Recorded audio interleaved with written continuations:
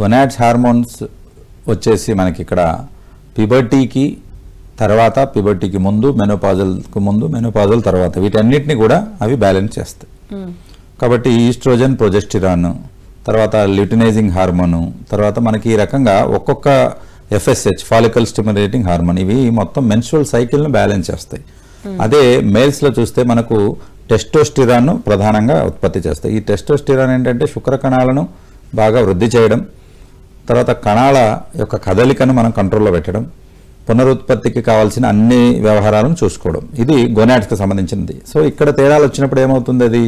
ఎర్సిటిజం ఆడలో మగ లక్షణాలు మగలో ఆడ లక్షణాలు రావడం ఇలాంటి తేడాలన్నీ వస్తాయి హార్మోన్ బ్యాలెన్స్లో ఇది గొనాట్స్కి సంబంధించింది.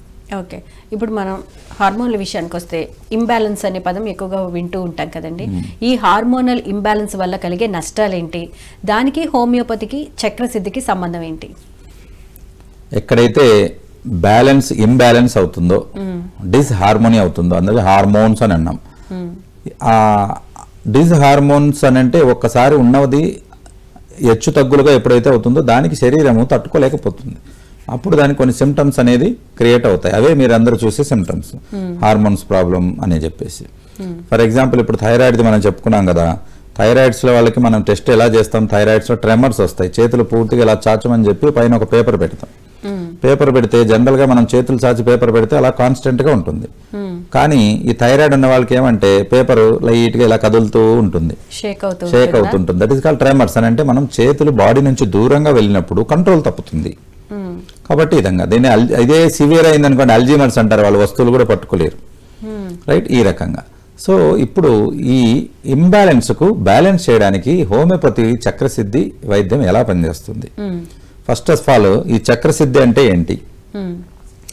మన బాడీలో సెవెన్ ఆస్ట్రల్ పవర్ ప్యాక్స్ అనేది ఉన్నాయి. అంటే ఆస్ట్రల్ అంటే కంటికి కనపడని ఎనర్జీ ఉంటుంది కంటికి కనపడదు. మనం టెస్ట్ ట్యూబ్లో దాన్ని తర్వాత ల్యాబ్లో మనము పనికి పసిగట్టలేం. మ్మ్. కాబట్టి అలాంటి సెవెన్ చక్రాస్ ఒక్కొక్క ప్రాంతాన్ని బట్టి దాని యొక్క ఎనర్జీ లెవెల్స్ దాటి యొక్క ప్లక్సెస్ ఆ నాడుల సమ్మోహనాన్ని బట్టి ఈ పేరు పెట్టడం అనేది జరిగింది. ఓకే ఇవి ఎలా బ్యాలెన్స్ అవుతాయి అని అంటే వాటికి మళ్ళీ మన బాడీలో ఫైవ్ ఎలిమెంట్స్ పంచభూతాలు అని మనం చెప్తాం. ఈ ఫైవ్ ఎలిమెంట్స్తో అవి బ్యాలెన్స్ అవుతూ ఉంటాయి. ఆ పంచభూతాలు ప్రధానంగా మనం చూస్తే బయట వాతావరణంలో విశ్వంలో మన శరీరంలో అన్నిట్లో కూడా ఈ పంచభూతాలతో మనం బ్యాలెన్స్ అవుతూ ఉంటాం. అందులో నీరు గాలి భూమి నిప్పు ఆకాశం. మ్మ్. కాబట్టి ఈ పంచభూతాలు అనేది హోమియోపతికి చక్రసిద్ధికి మధ్యలో వారధిగా పనిచేస్తాయి.